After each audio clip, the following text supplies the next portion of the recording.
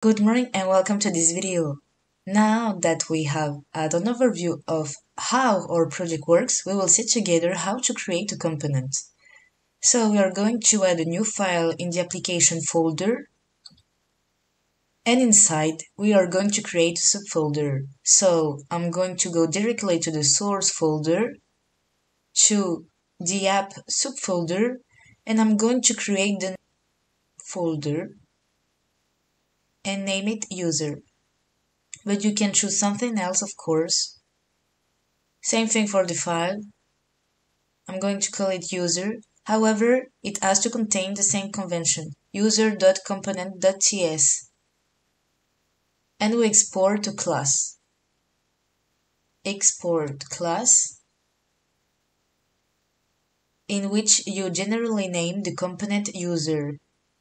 Here I put in Pascal case. Now we add a decorator. We will put a space and arrobas component to tell Angular that this class should be treated as a component. And here my ID added the import automatically, but you have to make sure that it's filled in every time you create this type of file. Each file works independently and depends on each dependency of that file. So every object or class which you use from another file must be imported into this file. Now we definitely need the selector here, so we have our own tag to use it. Now you are relatively free as far as naming, but that name will have to have a dash in it so that you don't conflict with the default name is like h1 I'm going to name it app user to follow the convention with app has a prefix and then the component name. Now I'm also going to add a URL template to link the corresponding HTML file, but this file doesn't exist yet. We are going to create it. Make sure you give the right path so that the ID finds our HTML file in our tree. So we have created the file. I'm going to name it user.component.html Here is the file. Inside, we are going to put a p tag to add a paragraph. And I'm just going to put some users and we save. Now, in the app module.ts file, here it is, and we're going to add an import where we are going to import the user component just below it.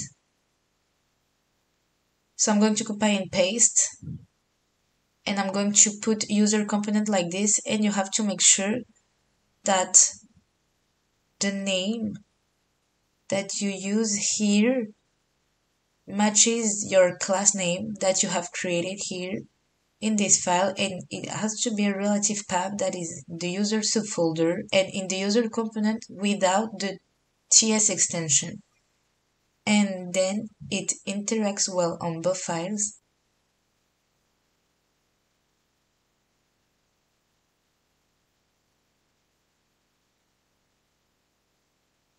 We now added to the declarations that we have to declare in all the components that we use in this module. The question is where will Angular then look for the selector in this component? And the answer is basically in all the other components in this declaration. But first I have to modify my file. I replace the parentheses to user components with brackets and also replace the double quotes with singles to read the import properly and I delete the one that is of no use to us so we can go to the application. Now we will test our component that we have created in our file app.component.html in searching app user. You will see that if you go back to your browser, you can see on our page the content of our page about our component that we created. That's it for our video. See you